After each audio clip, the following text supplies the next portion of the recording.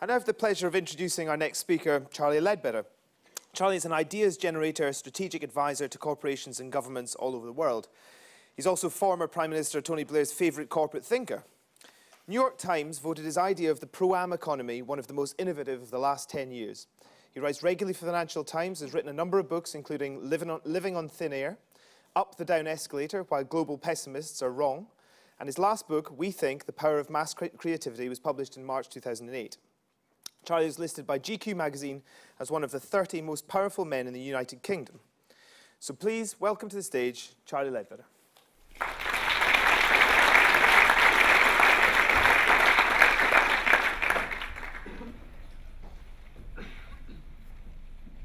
So uh, I'd like to uh, thank Daniel for that introduction and thank Dennis as he departs for that great presentation and for reminding us of the critical role of the Esso World Cup coin collection in economic theory and practice.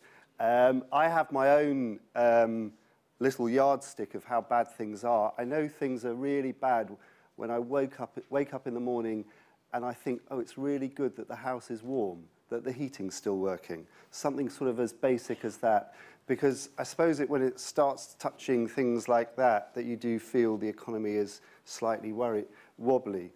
I grew up, some of you may have grown up, but I'm a little bit older than most of you probably. I grew up when inflation was really bad. And actually all of the economy was designed to combat inflation. Now we're in a period where inflation just for a period will be good. But then it's a bizarre time, isn't it? Because I grew up when LPs were quite expensive and water was free, and now water is very expensive and music is completely free. Um, so it's a kind of slightly topsy-turvy world.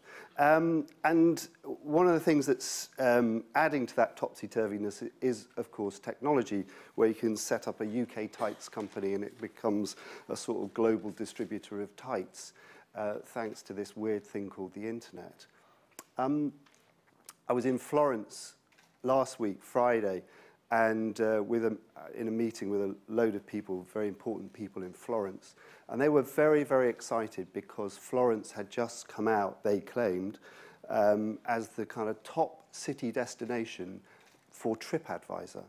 That was amazing to me that something like TripAdvisor could now hold so much cachet in a city like Florence that actually coming out top. TripAdvisor, I now use TripAdvisor regularly to wherever I go, does seem to me that it's mainly Americans complaining about the size of European hotel bathrooms. But once you get through that, it's quite useful.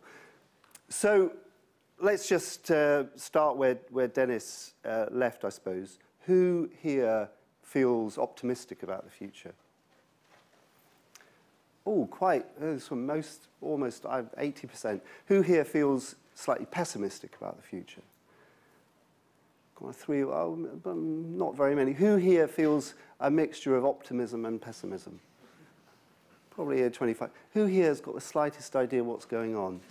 um, I mean, that's the problem. So uh, in order to do that and take a slightly different vantage point from Dennis's, I'm just going to give you uh, three diagrams which I think uh, might just help create a little bit of a map to have a sense of where you're headed and where in that kind of space you might be. Because I think one of the most difficult things, especially working in businesses which are so disrupted and affected by technology, is working out where on earth you are, who's doing what around you. So these are just three ways of thinking about the future. So this is the first one, how we talk and how we engage, how we communicate and how we engage with other people. And let me just uh, take you through it. Um, so there are two basic kinds of communication. There's high volume communication. That's the bloke on X Factor who says, Katie Wessel. That's high volume communication. And there's low volume communication, which is just sort of conversational.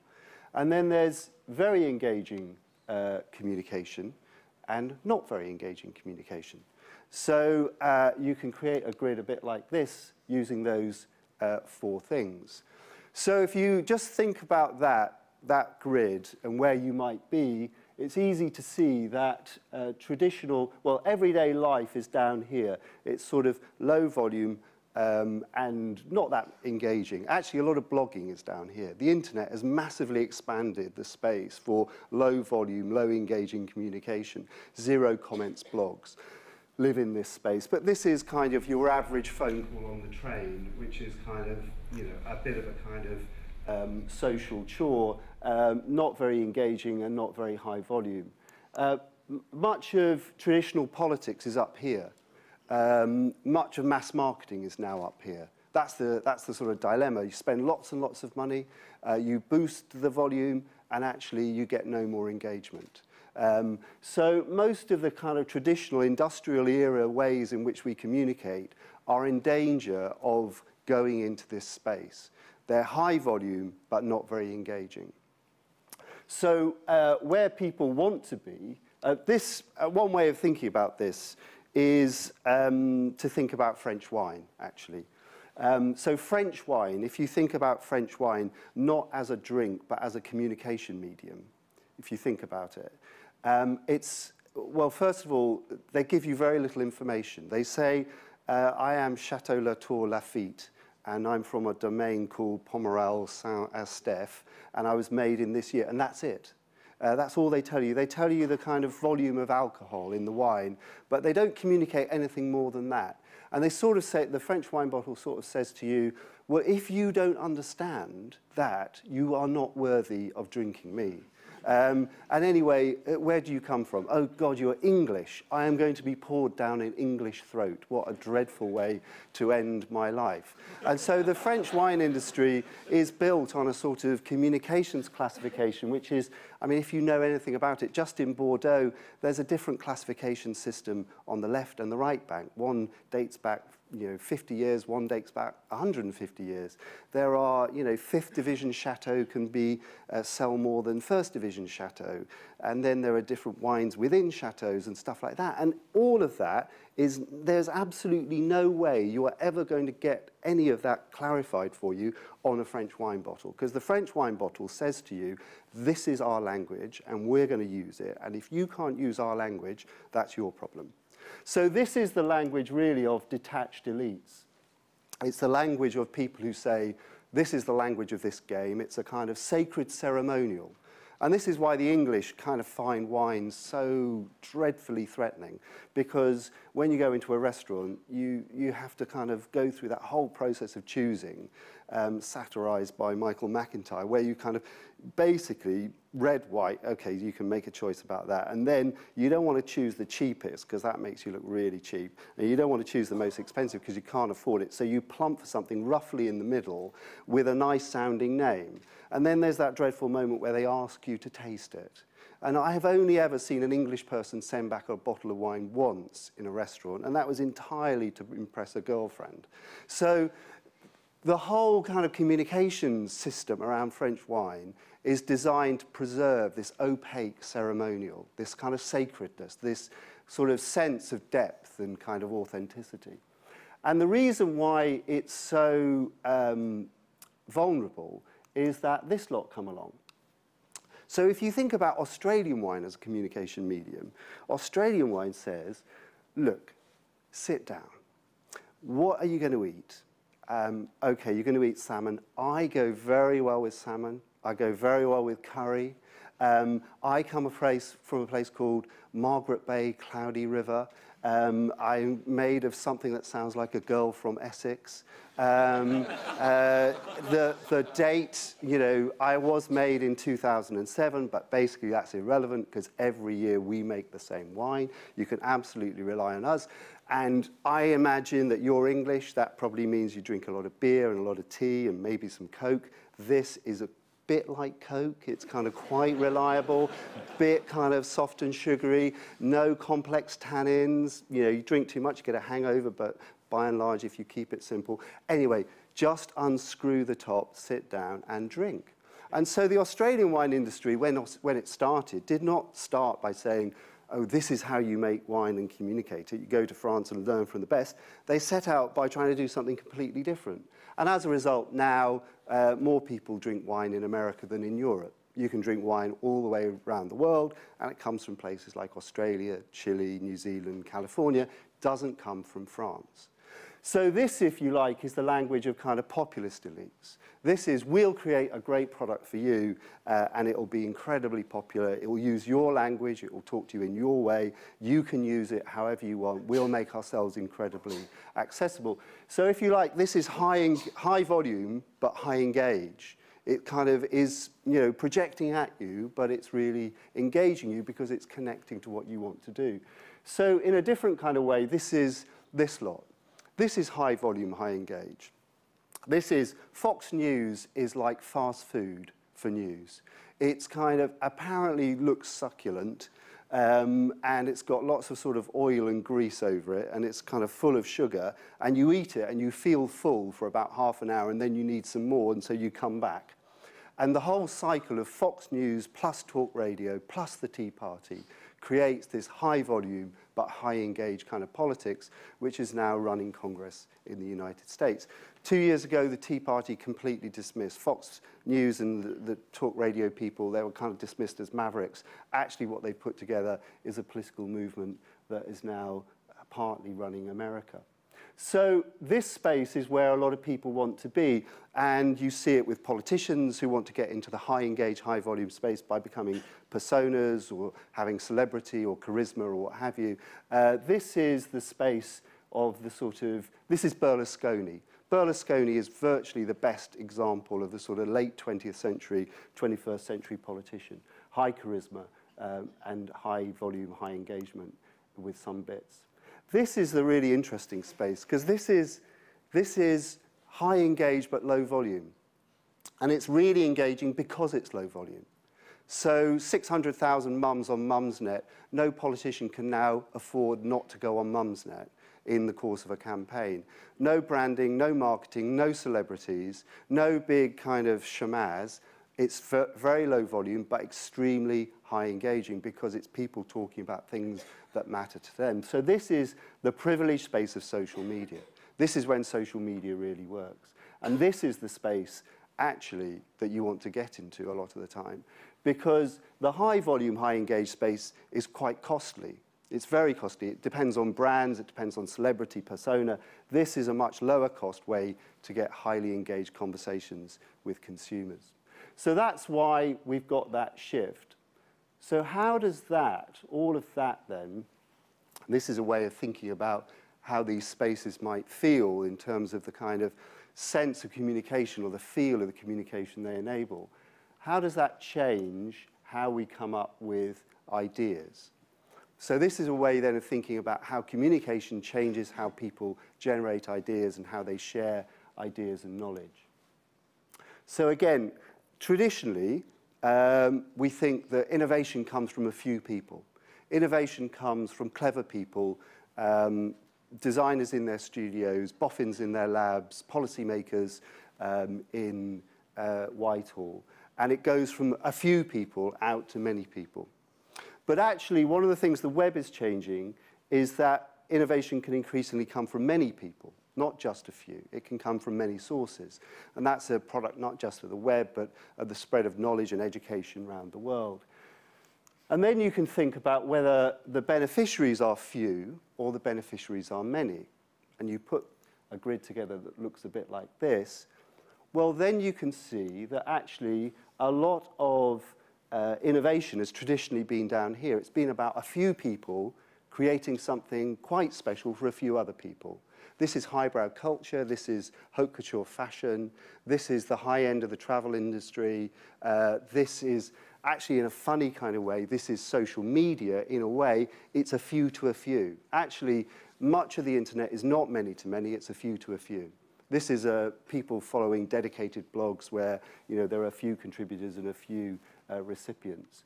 But much of innovation has been around that space, and industrialization takes us up into uh, this space up here, right in the top, where you get a few people who create brilliant products that many, many people want. So in modern incarnation, this is Jonathan Ives and the iPhone. Beautiful, kind of irresistible, seductive products that are made at scale. This is Nokia, the world's biggest maker of mobile phones, where you get a few people who create things for, very, for many, many other people. But the interesting spaces, I think, are increasingly going to be over here, where there are many contributors And the question is, will there be many recipients, many beneficiaries as well? So corporate open innovation programs, the likes of which Starbucks now have, My Starbucks, Dell, Dell um, Ideas Storm, Procter & Gamble, increasingly trendy, which is there are many more ideas outside a corporation than inside. Let's create a big funnel and channel them into the corporation and find ways of engaging many people to help us come up with better ideas. So that's sort of corporate innovation programs that are increasingly common. Actually, in a funny kind of way, the X factor is in there. The X factor, one of the, the sort of genius of Simon Cowell is to see the business model of music, recording music, and see all its weaknesses and use those to create a new model. So it's costly to find talent, so we'll get them to queue up and come to us. Um, live is much uh, more, uh, much more valuable than recorded. So we'll create a television program that has 11 weekends of interminable processional performances live. Uh, and then consumers are increasingly brand advocates, so we'll let them vote, and then they become the buyers of the, the goods themselves. So one of the geniuses of X Factor is that actually X Factor operates in many of these different spaces, in fact. It, in a sense, it goes from down here to the top right, where the beneficiaries, it goes from a few, Simon Cowell, out to a mass market. The beneficiary at the end is relatively few. The key beneficiary of all that activity is actually Syco, um, Simon's company. So then up here, um, well, one question is, is Apple. Where does Apple fit? Does Apple fit here or does it fit up here? Because Apple, I mean, I don't know, how, how many people here use Apple products? Good God.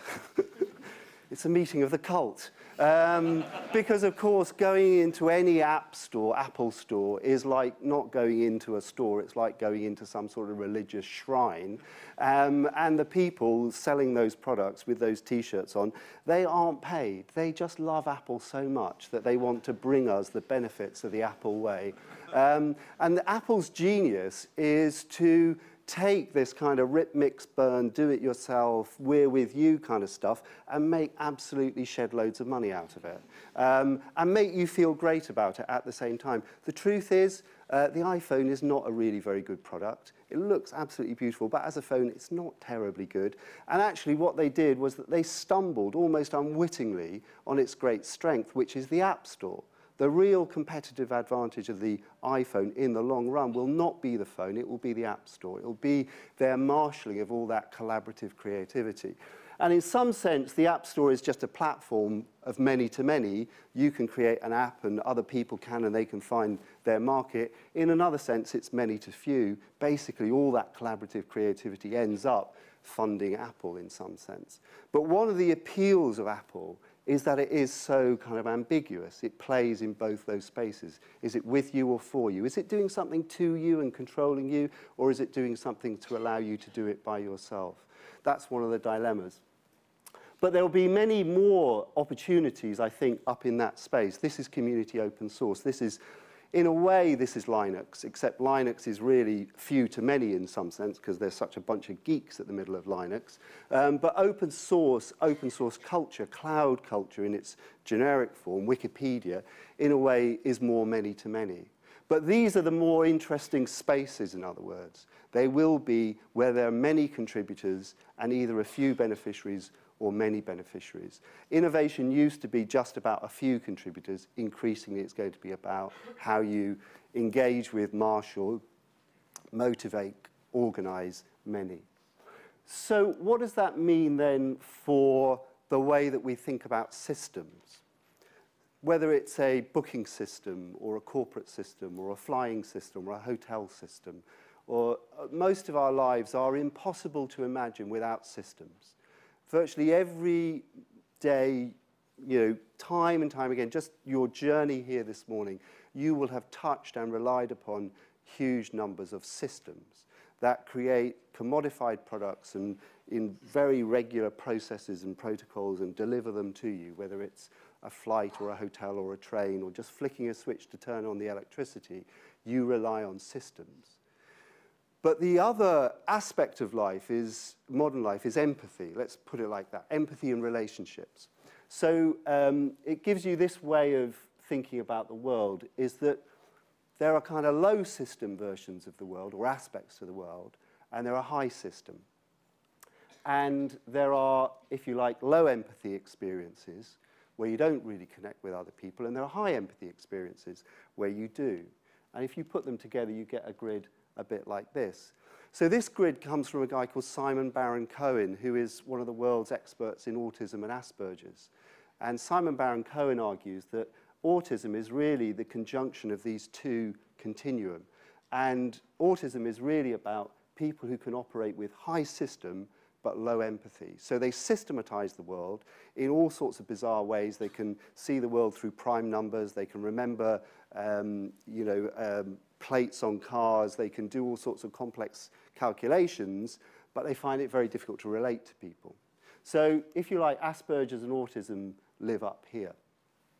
But how could we use that to think about the future of organizations, markets, consumer relationships, and an industry like travel? Well, just as a way in, let me give you this, which is a way of thinking about it through television. So this is uh, low empathy, low system.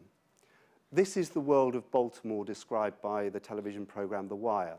There are no systems, there are no corporations because the market is too uh, fragile and poor. There are no public systems of law and order or welfare really that work. Education barely works.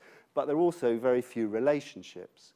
So you can't trust your own family because they might shoot you in some sort of drugs heist. You know, it's a world, it's complete kind of anarchy. It's a kind of Hobbesian world, war of all against all. Um, so there are too many places, even in this country, which are a bit like that, where there are unreliable systems, systems aren't really interested in you because you're not powerful or you're not rich, but there are also places which are bereft of culture, of social capital, so on and so forth. So this is where um, you don't want to, to live. So up here, these are places where there are high systems but low empathy. So this is the world described by George Clooney's film Up in the Air, where George Clooney plays a professional downsizer who flies around America um, acquiring frequent flyer points and sacking people. And that's all he does. And then he goes home occasionally to live in this awful flat. It's also, ironically, the world described by this great film called The Lives of Others, which is about an East German spy who um, kind of changes his life because he spies on some actors devising a play. But again, East Germany was high system, completely low empathy. The, the kind of similarity between these two films, one a picture of life in corporate America and one a picture in East Germany pre the fall of the Berlin Wall, is rather sort of staggering. But essentially, they're describing the same world high system, low empathy. So, this space down here is quite attractive because we quite like this. We like the kind of sound of it. And actually, during recessions, we like it even more because this is a world of low system but high relationships, lots of empathy. So, this partly explains the success of Downton Abbey on ITV over the last six weeks because it describes a world, as does Cranford, as does the Waltons. They all describe worlds before systems no electricity, no welfare. Uh, no telephone, no very little television, even in the Waltons. They're sort of pre-system, and so as a result, relationships are really strong. It's very nostalgic. This is very appealing, but actually it's not a world we could, or any of us, live in, because we all rely on systems, and increasingly on systems which are about communications, data, so on and so forth. So actually, the world that we really would like to be in is not either in the top left, high system, low empathy, or the bottom right, which is lots of empathy but no system, but is somewhere up here. And unfortunately, the only films I can think of that symbolize that are science fiction films, sort of Matrix at times, but Star Trek and Star Wars. They are places where you have sort of empathetic systems, systems that are capable of working with you, either because they understand you or they're designed to fit with your life, or they're just simply invisible, and so they don't interfere with you. But this is where the system is itself empathetic. It's capable of sustaining a relationship with you. So this is one way of thinking about the future of uh, organizations. It also might help explain the future of travel because bits of travel might fit into elements of this kind of world. So let me just see if that, oh yes. So that is the perfect example of a high system, low empathy uh, experience, uh, Ryanair. And everything that Ryanair does to other airlines around it kind of spread that toxin of Ryanair's approach. Sorry if there's anyone from Ryanair, but basically Ryanair is, here's the bargain, uh, you buy a ticket, very cheap, then we declare war on you. Um, and um, we don't just declare war on you, we create a system that incentivizes you to declare war on your other passengers. So the entire experience is an exchange. Here's a system, low cost, and here is absolutely no empathy and you'll feel dreadful at the end of it. But if that's the cheapest way to get from A to B and that's all you want to do, that might be something you're prepared to put up with. So that's in that space.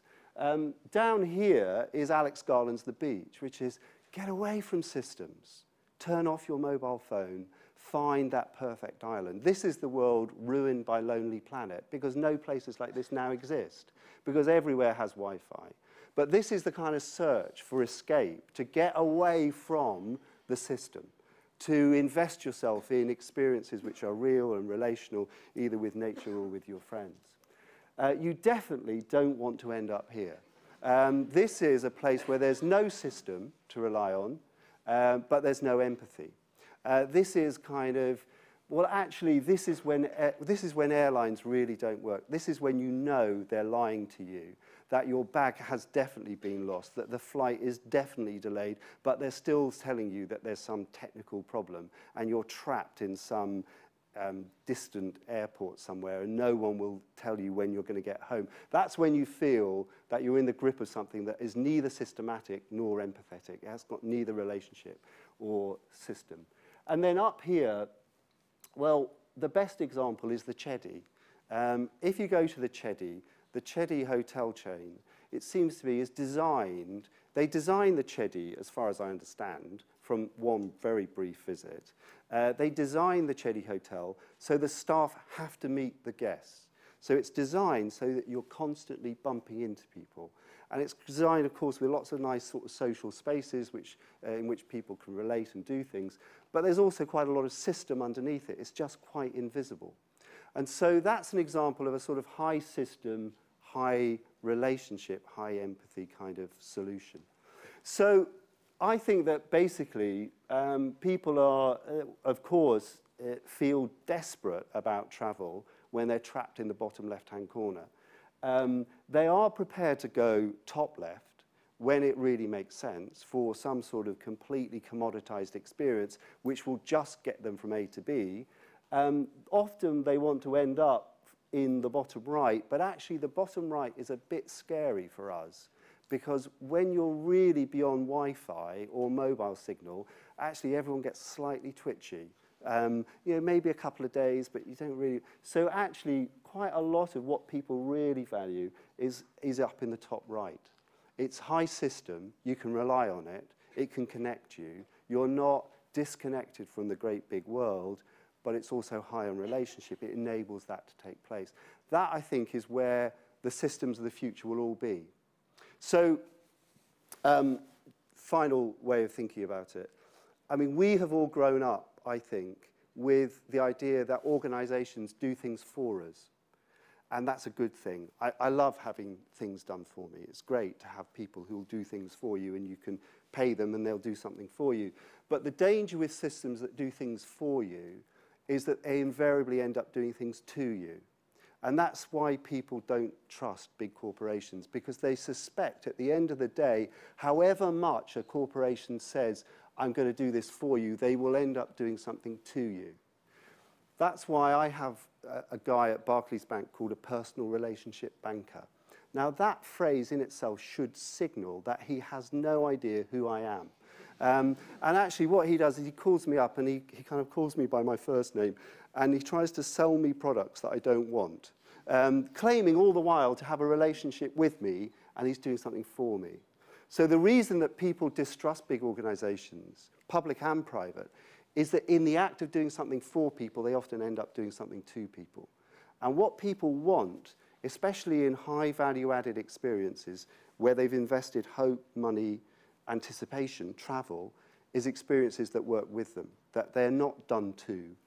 And even if they're done for, they're done with. And sometimes they can do it by themselves. So think with and by, not just for and to. And don't think just system, think systems that support relationships. And those, I think, will be the successful recipes of the future. Thank you.